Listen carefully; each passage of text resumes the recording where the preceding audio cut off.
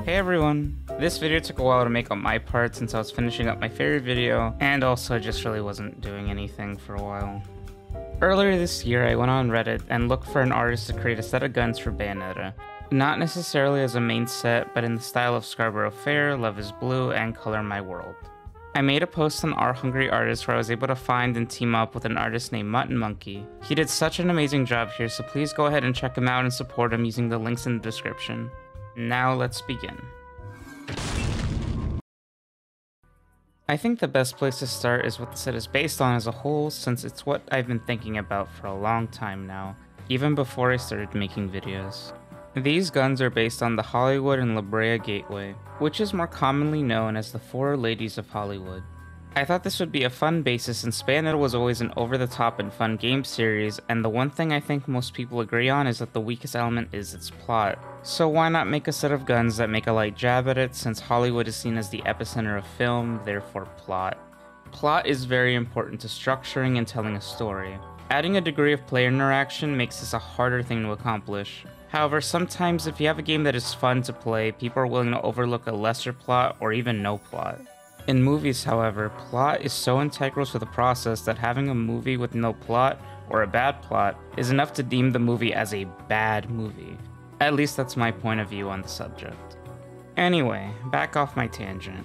The guns are colored silver as a reference to the silver screen and the color of the statue itself. The term silver screen refers to the movie industry or movies themselves.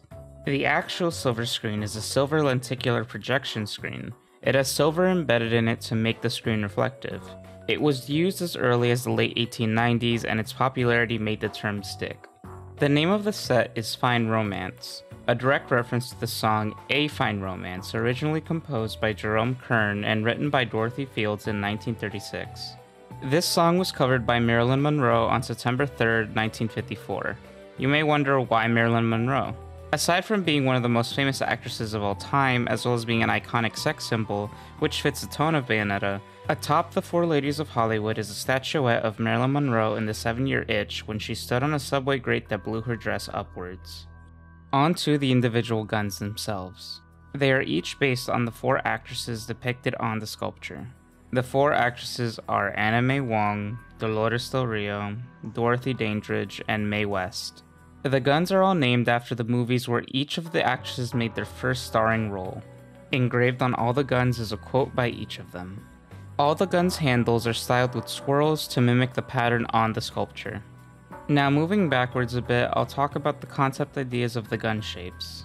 Mutton Monkey gave a bunch of different sketches on different gun types, and I ultimately went with the Remington Model 1858 as the base design, but with a much bigger barrel to fit the Bayonetta style. There isn't any real reason to why I went with that one, I just liked how it looked, and I liked the handle of the gun.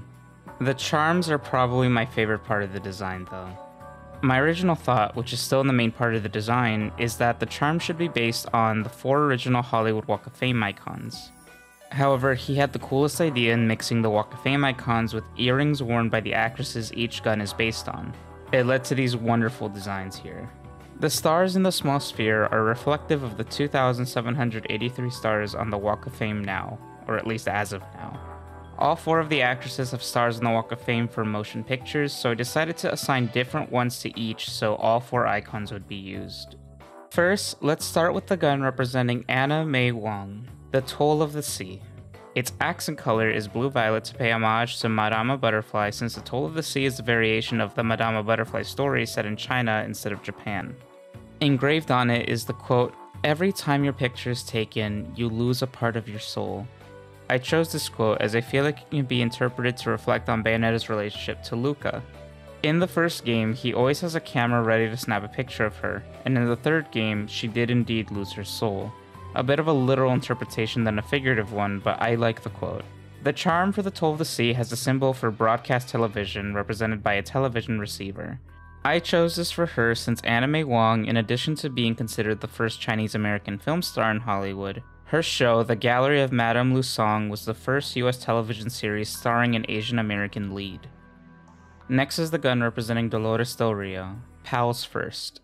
Its accent color is pink, which comes from the lobby card of Pals First, specifically the pink flower adornments on it.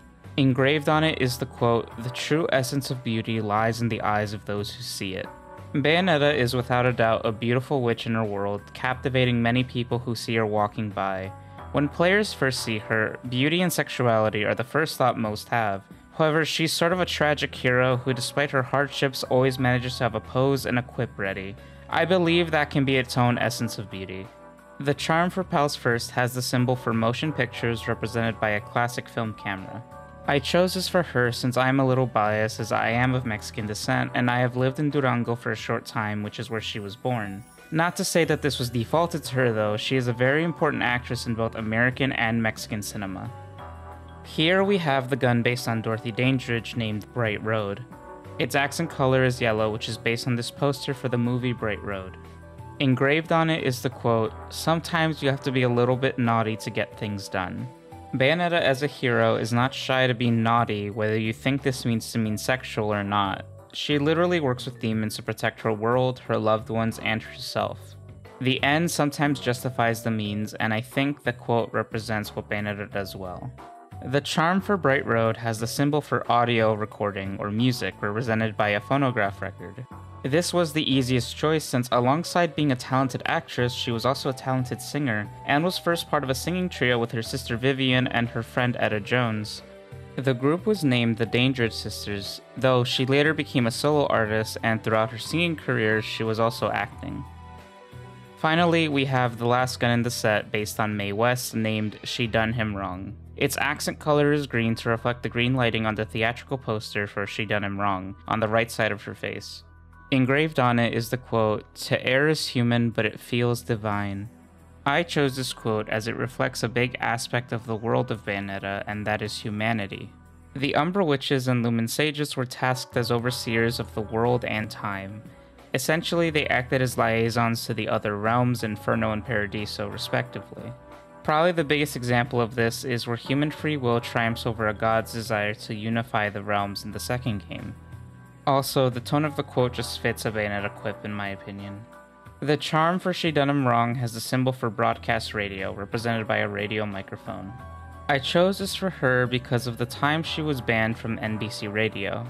While she had been risque on the radio before and was very well known for her double entendres, she was banned when she did a sketch written by Arch Obler. She was scapegoated since many groups, primarily religious ones, put the blame on her and their complaints were later endorsed by NBC Radio when they banned her and blamed her delivery of the lines but not the actual content of the skit, which doesn't really make any sense.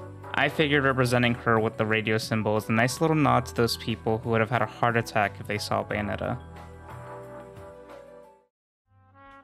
This was a lot of fun to do. I want to thank all of you for tuning in, and I want to thank Mutton Monkey again for doing this for me, as he did it so amazingly. He captured exactly what I wanted, so please go show him some love and support.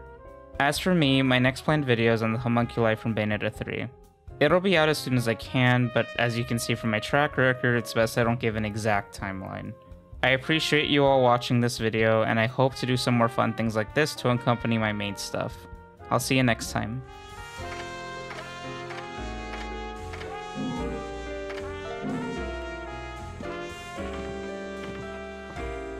Yeah.